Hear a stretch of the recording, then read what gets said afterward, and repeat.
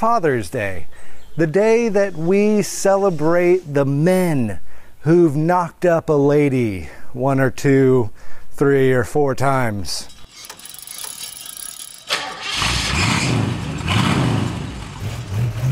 So, what do you buy an early Bronco lover for Father's Day? You buy him a Bronco. so, I get it, that's a little bit out of budget. But here are my top five things to buy an early Bronco lover for Father's Day. Men, what you want to do is you want to click the share button, share this on Facebook, and tag your wife and just say, Woman, number two. Don't say woman, because that's degrading. Mother of my children, number two. To the woman that I love the most, number one. But she might think she's number one, so just go ahead and put I want number one. But that sounds like you want to pee. You you can you can figure out how to write it, how to word it correctly. Top five things for an early Bronco lover. Number one, a gift card. This is super easy. All the vendors have gift cards, but Ladies, I'm speaking to you from experience. A gift card is fantastic and I love them, but most of the parts that your uh, husband or lover or father of children would like, it's in the 500 to $1,000 range. So a $25 gift card, although extremely nice, uh, will not cover the things that we want. So keep that in mind. But number one, it's a great one a, a little gift card goes a long way. Number two, a subscription to Bronco Driver. Like you want to talk about getting some inspiration, getting some motivation to do some work on your Bronco? This thing, broncodriver.com sign him up for a year's subscription to Bronco Driver. It's pretty cheap. It's a good option. It can sit on the uh, the coffee table, and you won't be embarrassed because you'll be seeing this BroncoDriver.com. Sign him up for a year's subscription.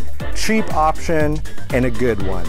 Number three, a little beer and a day in the garage having a, a, a, six pack of beer and, and, a day in the garage there's not a lot of things that are better than that. And it's cheap too. After a long year of working with the children, here's a six pack. Go, go spend a day in the garage. No kids, nothing. Just, just sit there and enjoy, enjoy the, the life of a man in a garage with a six pack of beer.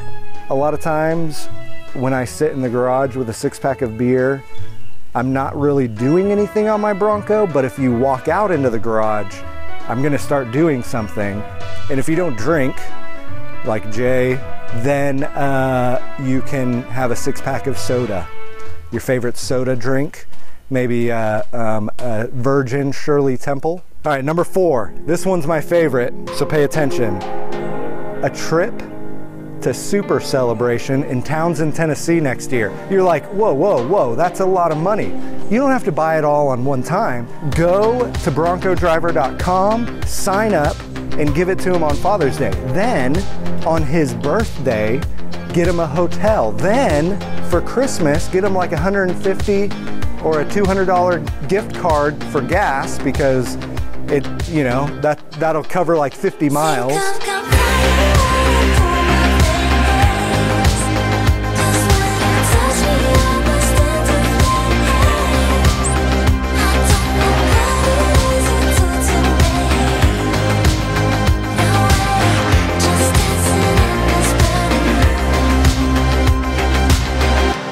Don't have to do it all at one time.